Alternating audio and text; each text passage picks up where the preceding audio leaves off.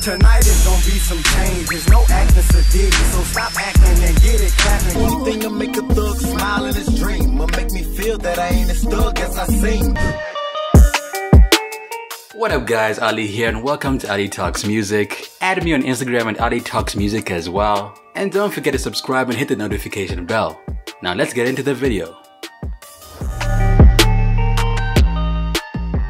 Huey was born around 1987 in Missouri. He grew up in a poor area filled with drugs, forcing him and his family to relocate to Walnut City in St. Louis when he was five.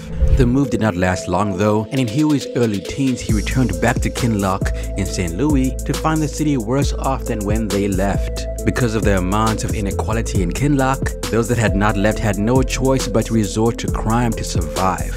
There was always a lot of drugs going on, and, of course, a little bit of violence. But when I came back, the airport thing came about and the police was real bad. County police was coming out there, chasing people and shocking them with tasers.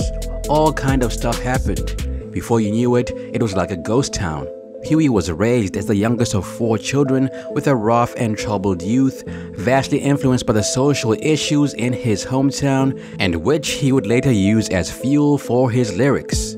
My mama and daddy were on drugs. My brother was in and out of jail. The foster people were chasing me. It was crazy. Growing up out there, it was crazy. As a childhood, I had a hard time, you know what I'm saying? But my mom's been strong out on, on drugs and all of that. Dad on the same thing, but now we, we headed for a new beginning, you know what I'm saying? Ever since ever since I focused on my career. My mom been saved now for like, you know what I'm saying, 14 years, so she doing great right now. You know what I'm saying? She under our baby boy 100%. But yeah, growing up out there is crazy. It's just like any other city. It's just on a different part of the map, man. You know, everybody got problems. Everybody got gunfights. Everybody got drama and all that. Of course, we got some beautiful things that happen in life too. Around 2003, when he was around 15 years old, the man began making beats and writing lyrics. He performed under the name Huey and Baby Huey, often dropped beats with his friend on the block of Arlington Avenue. He didn't take it very seriously at first. This was until his brother introduced him to Angela Richardson, who had been cultivating a rap group at the time. Angela helped Huey get his name out there, finding toeholds in St. Louis clubs as well as college campuses and surrounding museums. Songs like Oh and early versions of his biggest hit Pop Lock and Drop It became local favorites of DJs and promoters.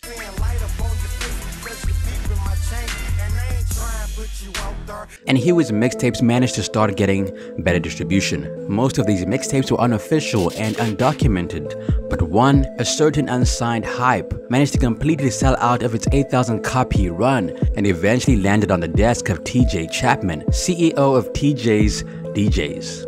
Later, TJ introduced Huey to Mickey, Memphitz Wright, and A&R at Jive Records, who was so impressed with Huey that he signed him to his Hitz Committee imprint at the tender age of 18. Everybody kept saying that I should be doing this for a living. It was a gift, and it surely was a gift. Shortly after being signed to Jive, Huey dropped the biggest single of his career, Pop, Lock and Drop It, as the lead single off his debut album. The single became a huge dance number and made it to number 6 in the Hot 100. The single continued to accrue accolades, earning a double platinum certification from the RIAA and spawning multiple remixes and even featuring in the movie Stomp the Yard.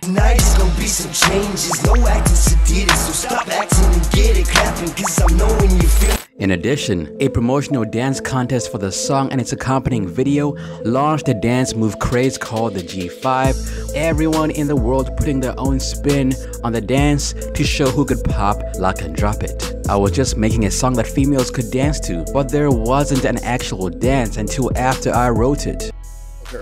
Music scene in St. Louis was a straight job, man. First of all, DJs wasn't playing nothing that I just said play. Second of all, I had to work my record in the club.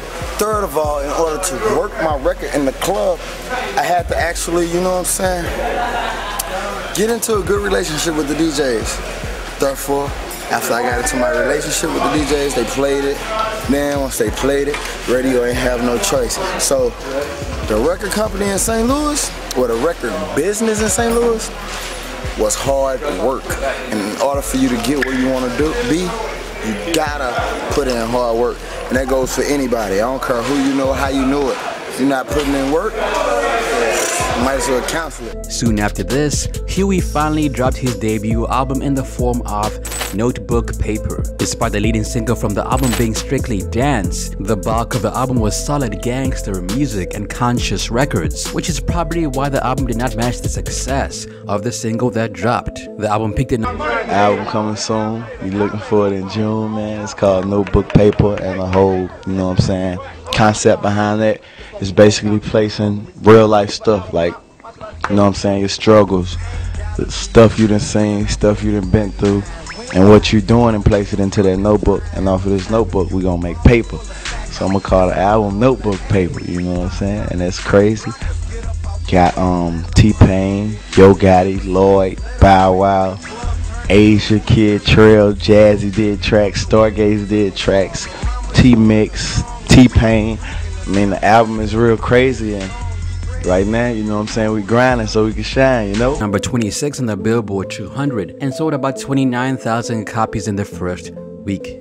Other singles off this project were When I Hustle featuring Lloyd and Tell Me This, neither of which placed meaningfully on the charts.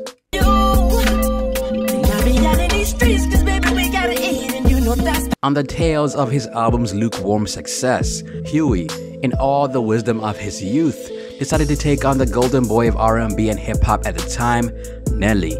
As the story goes, before Notebook Paper was released, Jive Records encouraged Huey to collaborate with Nelly, who at the time had already released three multi-platinum albums, as well as a diamond certified debut. Nelly, perhaps dealing with an overinflated ego, shot down the request to collaborate with Huey, mainly because Huey was still an up-and-coming artist. This is what Nelly had to say on the matter. Look here, Dirty, it's not gonna happen. Especially with this being your first album, it's not gonna happen. This naturally wounded Huey's pride and started a feud between the two rappers. I'm only cool with Chingy and Jibbs. Everybody else can kiss my ass. Nelly is disrespectful and arrogant. His head is as big as this table I'm sitting at. He's on some arrogant, unsupportive bullshit. When he found out I got my deal, he didn't congratulate or anything. It's crazy because I can go out of town and get love. But when I go home, I can't get the same respect. But he's small talk. Following Nelly's rejection, Huey dropped the diss track Down Down Baby Bang bang your gang, I don't with you. Chopping at you that next to you. City Spud was the closest to a lunatic. A track riffing over one of Nelly's biggest hits, Country Grammar. In response, Nelly fired back on the song called Cut It Up with Pimp C and Sean Paul. Got a Buick that's green, the same color my snot. Little daddy, you ain't shit. You might as well get off the pot. There's a new St. Louis? Yeah, that's funny. But I'ma stick with the old. The new don't make enough money. Daddy, you ain't the shit. You might as well get off the pot. It's a new St. Louis shit. Yeah, that's funny. But I'ma stick with the old. The new don't make enough money. Now after Cut It Up dropped, it caused tension amongst fans in St. Louis and sparked a barrage of locals to make YouTube videos calling for Nelly to be boycotted. In one video, fans could be seen calling the St. Lunatics part of the old St. Louis, while Huey was heralded as part of the new St. Louis. Yeah. Boy, yo, Street Status DVD, outside in the loop. Delmar Loop, kicking and chilling. It says Nelly Day we trying to see, man. We got we see Nelly here, we don't see the other side. So old Lou, new Lou, it's all the same, man. We trying to see, man. Niggas is sending out bulletins all on MySpace, all on the net, talking about 530. We gonna be in front of Vintage Vinyl, breaking the CDs, the Nelly CDs and all of that. New, new St. Louis versus old St. Louis, all of that. Huey then fired back with another track called Back At Ya. And after this, the beef seemingly blew over, and according to the man himself, Huey thought the whole beef was a misunderstanding. On a more personal front, Huey was quietly having problems with his label. His musical releases were far and few between, and yet he wasn't talking about it. Around 2007, he appeared on R. Kelly's Double Up on the song called Hook It Up. And around 2008, he dropped the non-album single 24-7 365 with Maino and Glasses Malone.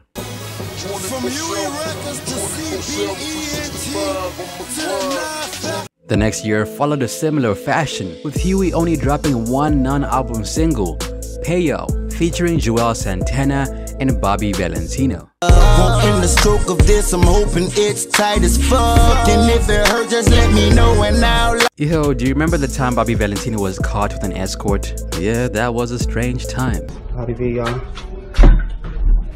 Bobby Valentino, running. But I digress. Around 2009, Huey narrowly escaped dying in a drive-by shooting, an incident that left him rocked to the bones. After attending Yo Gotti's birthday party in downtown St. Louis, he and a bunch of his old friends left the club together. The friends were in an SUV, while Huey was following them in his signature Jaguar. The car stopped at a red light, and another seemingly innocuous car pulled up to the SUV. In the third car, unbeknownst to Huey and his friends, were at least two gunmen who meant business. The gunmen fired excessively into the SUV, killing the driver and two of the drivers before speeding off. Luckily for the artist, Huey was unscathed, and aside from a case of severe shock, he was alright. I really don't know what happened or why it happened. We basically was at the club and we had a wonderful time. No problems, no altercations, no nothing. Once we left, the shots went off at the light. We were right behind them. It was hella loud. Luckily, my car didn't get shot. Naturally, considering Huey was an artist that was well known, a lot of people assumed that Huey was the target of the drive-by. It was just a rumor. You got all the opportunity in the world to shoot at my vehicle first. You passed me up, and you know whose car this is.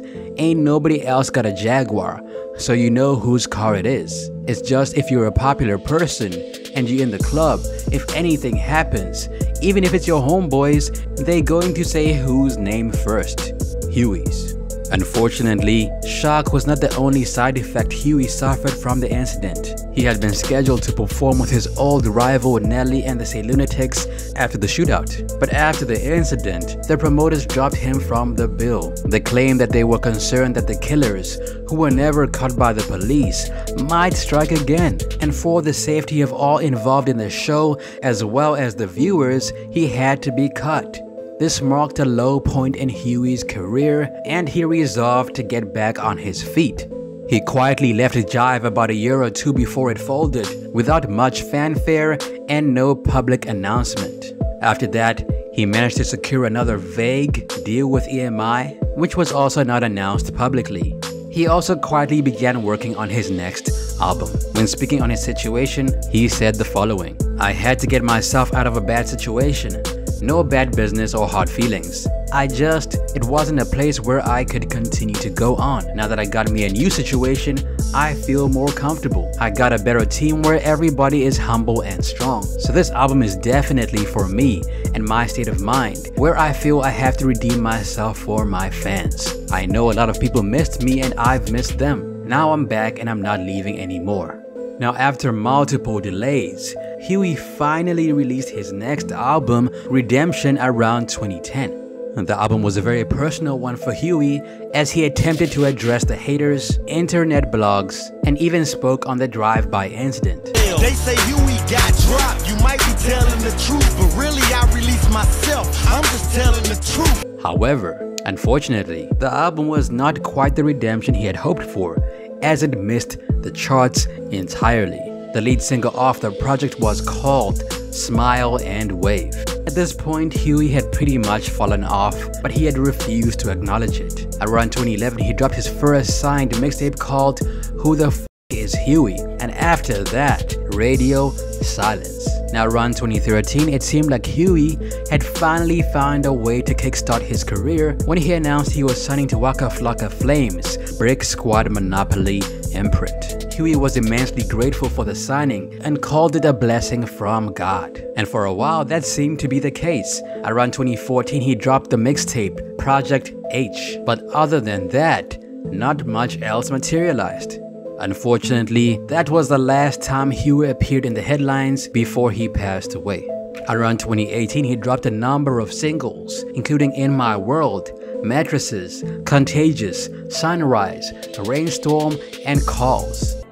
Bad bitch, but now she just a has been. I don't like a liar and I don't like sadness. And then around 2020, he dropped a lot more singles. He even launched a clothing brand, however it never really got off the ground due to Huey's death. Now around 2020, Huey was shot to death in a drive-by shooting eerily similar to the one he survived around 2009. While Huey was standing outside of a home in his home city, a car drove by the location and fired multiple rounds into the crowd. Huey got hit. He was then sent to hospital and was pronounced dead shortly on arrival. And that's basically the story of Huey.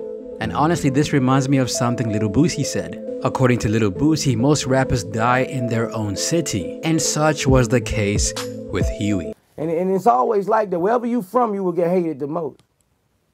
You know, most rappers die in their own city, man. It's a fact. And um, you know, you have haters who who was in school with you and, and they mad because they was on they was in that in that third grade class with you, but they don't have the same hustle as you. You know, they hate you for no reason. They hate you for they hate you for your success. If you was a local rapper and you and you didn't have much, they would love you. You know, and these people you develop hatred in your own city. Huey gets about half a million monthly plays on Spotify, and his most listened to songs are Pop Lock and Drop It, When I Hustle, and Nobody Loves the Hood.